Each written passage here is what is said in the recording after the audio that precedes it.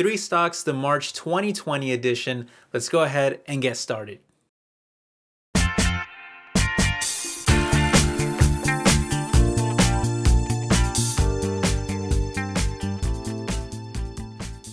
What's up everyone, my name is Ale, welcome back to my world of stocks.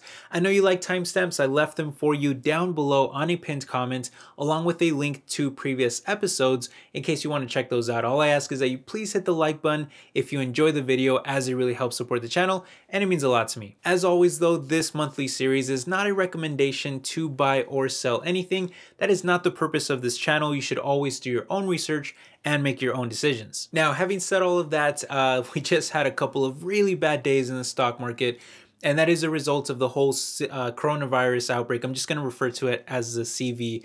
By the way, thoughts and prayers, of course, go out to anyone affected.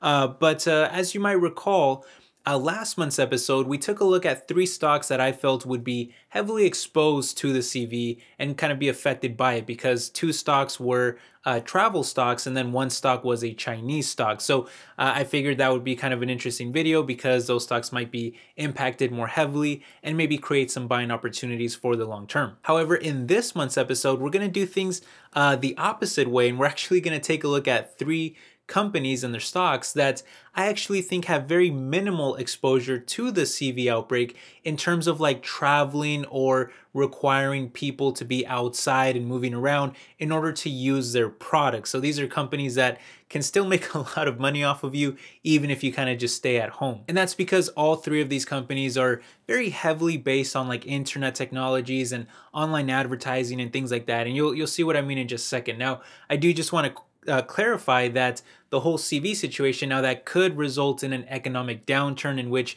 you know basically every company would be affected uh, because spending would go way down and it would kind of trickle down into a bunch of different areas. But I'm just kind of basing this video in terms of like, hey, these companies don't really need you to be outside and be moving around and traveling. Uh, so they may not be affected as heavily as something like travel stocks or even Chinese stocks or things like that.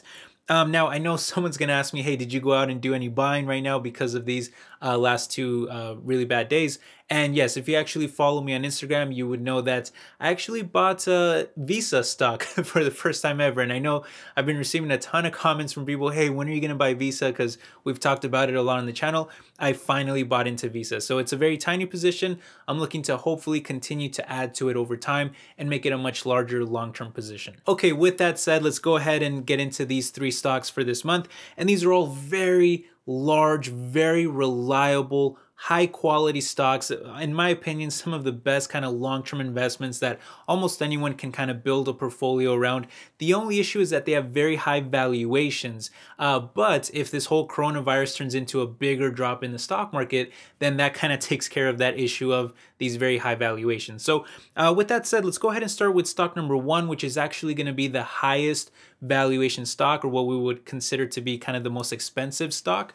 And that's going to be the online shopping giant in Amazon. Ticker symbol AMZN, and obviously this is a company that relies heavily, heavily on you just kind of staying at home and doing your shopping from home rather than going outside and visiting a bunch of stores and things like that. So they have very minimal exposure to that kind of side of the whole CV outbreak. But when looking specifically at online shopping, Amazon is so incredibly gigantic already, yet most people don't even realize that their e-commerce market share in America is still less than 50%, although it's definitely climbing fast. But that also depends on who you ask, because researchers at eMarketer recently reduced their estimates to less than 40%. And when looking at global e-commerce sales, they also estimated that Amazon only makes up about 13% of those uh, sales kind of globally, and just about 5% if you exclude the United States. And by the way, that was actually before the most recent cut to their estimates, so it's probably even less. So when I hear like everyone say that Amazon has already seen all of their growth in online retail, I think they're very wrong. Amazon still has a ton of room for growth. You also have to keep in mind that online sales still only made up less than 14% of all retail last year, but the market is growing to astronomical heights every year and should be approaching $5 trillion pretty soon. Meanwhile, Amazon has an incredibly sticky business. According to a recent survey from feedvisor.com, when American consumers check prices before making a purchase, over 80% of them check Amazon, while close to another 80% use it to check for product reviews. On top of that, Amazon already has over 100 million Prime members in the United States, and the vast majority of them are not likely to end their membership anytime soon. Of course, with Amazon, you also get the largest cloud player in a $100 billion market with 33% market share, according to Statista, while Microsoft is quite a bit lower at 18%, and then everybody else is in the single digits. On top of that, you also get the third largest player in the US online advertising market that has very likely surpassed traditional advertising at this point with very high growth, and Amazon is even likely stealing market share from the largest player in Google. Of course, the market is soaring to extremely high amounts in general, so all companies will continue to benefit from it, but the point is that Amazon is quickly becoming a bigger player that, you know, should be taken seriously. And then there's also a ton of other things that Amazon is doing that we don't have nearly enough time to cover in a short video, but all of this has built up a company that is doing around $300 billion in revenue a year. Like that's 300 billion with a B. And yet they're still growing at close to a 20% clip, while EPS is also expected to soar by 30% on average over the next five years, which is extremely high growth. Of course, the valuation is sky high, as even after dropping by close to 10% this week, uh, being dragged down by the broader market, they're still up by over 400% over the past five years, leaving them with a forward PE ratio of close to 50 and almost a $1 trillion market cap, which is obviously very large. Still, if you think that you're going to get a stock like Amazon at a cheap valuation and it's not during like a recession or a major economic downturn, then good luck because this is one of those stocks that just always trades for a rich valuation, and it's just one of those cases where you get what you pay for. Again, the valuation is high, I agree with that, but at the same time, I also think that part of that is due to the fact that Amazon reinvests a lot of their profits to continue growing, and at the same time, I know that they're almost at a trillion dollar market cap. I actually think, and, and I've told you this before and I'm sticking to it, that I think Amazon will be the first company to reach a $2 trillion market cap. So I think long term, any of these kind of short term issues will have ultimately proven to be buying opportunities for the long term, in my opinion. And it's uh, one of the reasons why it's my second largest stock and I continue to own it. Okay, moving on to stock number two. Uh, this one's going to be a cheaper valuation. And then when we get to stock number three, that'll be the cheapest of the bunch. But uh, this one is going to be Google, ticker symbol GOOG uh, or GOOGL, doesn't really matter. But uh, this is a company that I also think has very minimal exposure to the whole kind of CV outbreak in terms of having to be outside and traveling and things like that. Because whether you're watching my channel on YouTube or you're using Chrome, or maybe you're using Android or maybe Google search, whatever the case is, uh, they have tons of ways that they can make money off of you and they don't need you to be outside in order to do that and it's one of the it's just one of the reasons why they're already so massively large and yet they continue to keep growing at some very impressive rates despite you know their already big size. And when it comes to that size you're talking about close to 200 billion dollars in sales expected this year at still very high growth of around 18% with about the same type of growth for their EPS as well. And I know that everyone thinks of Google as some massively large and already overvalued stock, but the reality is that it's actually not that bad when you take everything into consideration. Yes, a forward P ratio of 22 is generally considered high, but not for a company like Google. In fact, it's only a little higher than the sector median, while their PEG ratio is actually flat with the sector, and there is no way that Google deserves to be trading at the middle of the pack like some kind of mediocre stock. In fact, almost every analyst uh, that is up on uh, Yahoo Finance has a buy rating on this stock. And not only is it trading well below the highest estimates and well below the average estimates, but it's even trading lower than the lowest estimates, which is not something that you see very often. Now, to be fair, the stock has absolutely skyrocketed over the years, so I completely understand why so many investors refuse to buy the stock. In fact, I've avoided buying this stock myself just because I'm so used to buying my stocks when they're dropping heavily. But you know, when it comes to Google, that just happens to be a stock that rarely dips. But if this whole CV situation keeps dragging Google lower, which did result already in almost a 10% drop this week, then I'm gonna have to just jump in at some point because they have very little exposure, like direct exposure to this whole CV outbreak anyway. In fact, they did almost $135 billion of advertising revenue last year. And again, they dominate the digital ad market with the most market share, and that has almost nothing to do with people traveling around the world or being active outside. Uh, meanwhile, they also control over 90% of the internet search market with Google, Google search, over 64% of the browser market with Chrome, over 74% of the mobile OS market with Android, which even beats out Windows, by the way, if you include computers and tablets, which is pretty crazy to think about. Uh, they have the second largest email platform with Gmail. They have the fourth largest cloud platform in the world with Google Cloud. They dominate the US mapping market with Google Maps at over 150 million users in the United States alone. And even their Waze app has more users than the next closest competitor in Apple Maps. And as if all of that wasn't enough, they also have the second largest social network in the world by users at over 2 billion monthly active users on YouTube. And of course, because Google is so large and they are able to collect so much user data, they're also a huge play on the future of artificial intelligence and are even making some big moves in autonomous driving with their Waymo business that has already launched a trial version of their robo-taxi service in Phoenix with the Waymo One app and are even testing autonomous freight trucks that transfer equipment to their data centers.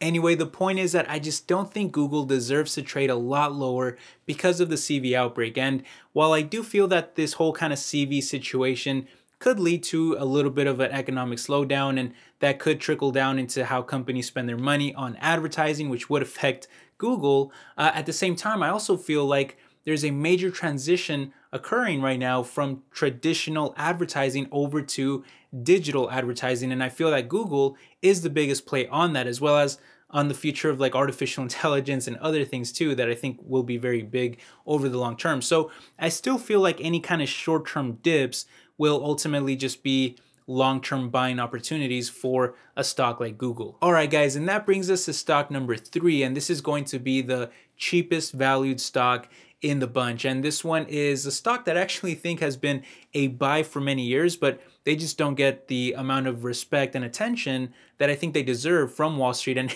also even from me. And that company is, of course, Facebook. Ticker symbol is FB. And uh, this is another company that could be pretty heavily affected by an economic uh, downturn as companies spend less money on advertising, which Facebook does rely on.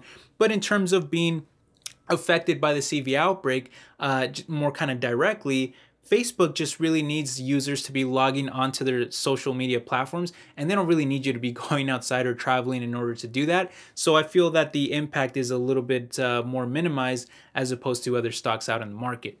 And that's because just like Google, Facebook is heavily reliant on digital advertising. In fact, it makes up around 98% of their total sales. And when looking at that, uh, advertising revenue by quarter, you can see that it's been jumping by around $4 billion year over year when looking at the fourth quarter, uh, which is very impressive. And obviously, the numbers are even bigger for the full years as they generally jump by around $15 billion. That's a lot. And that's led to the second most market share in digital advertising, at least here in the United States. And it's also helped them gain even more market share year over year, despite already being so massively large in the space, which may be causing Google to actually lose some. And any case, that mostly stems from their leadership position in social media, as Facebook currently leads all other networks with almost 2.5 billion monthly users, while number three, number four, and number five all belong to Facebook as well. And the lowest one of them being Instagram is actually the one that I think has the most upside potential despite already having over a billion monthly users, which was actually recorded over a year ago. So that number is likely a lot larger by now.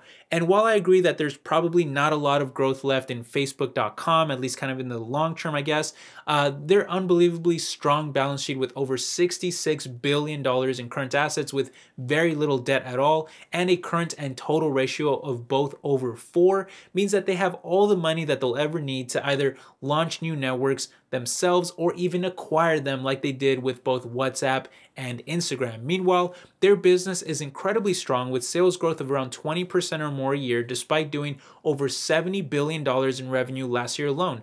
Meanwhile, they continue to rake in huge profits every year and even though their net income did tank in the first two quarters of last year because of some really big fines from the FTC, those issues were all fixable and their EPS growth is expected to return to much higher growth levels of over 40% this year and close to 20% the year after, leaving them with a very attractive valuation of only an 18 forward P ratio for one of the largest, most dominant social media and online advertising companies in the world, yet they still trade 7% cheaper than the sector on a forward P ratio basis and over 30% cheaper on a non-GAAP PEG ratio basis as well, which is, you know, very interesting because this is a company that I think should be trading higher. Uh, anyway, while Wall Street continues to underestimate Facebook, at least in my opinion, they continue to invest in things like business enterprise with Facebook Workplace, augmented and virtual reality with Oculus, original programming with Facebook Watch, and of course, they're still aiming to launch a cryptocurrency called Libra, even though it, it has been facing some challenges. But at the end of the day, I just really feel like Facebook is one of those stocks that is kind of consistently underappreciated by Wall Street. And look, I completely understand the concerns over things like growth when looking specifically at Facebook. In fact, I don't even use Facebook myself. I'm not a fan of the platform. But at the same time, I feel like I'm always kind of being proven wrong. They continue to have um, a, very large numbers of, of users, and they actually continue to grow those numbers as well. And at, all the meanwhile, Facebook continues to bring in huge profits that continuously fuel their balance sheet and also fuel uh, future investments into uh, areas of growth and things like that. So while I'm personally not a big fan of Facebook because the only platform that actually use is Instagram, and so investing in Facebook would be kind of going against my investing principles a little because when I invest in a stock, I, I I like to either use a lot of their products or, or be very passionate about their products. And I'm just not that passionate about Facebook. I don't really like social media that much. Um, but if uh, this stock continues to get dragged down because the company continuously proves me wrong, great business performance, and and always has a pretty cheap valuation. So if the CV situation continues to drag the stock down lower, I may just have to bite my tongue and buy into the stock because it's uh, pretty attractive when looking at some of the fundamentals. So anyway, that's how I feel about uh, Facebook and these other stocks.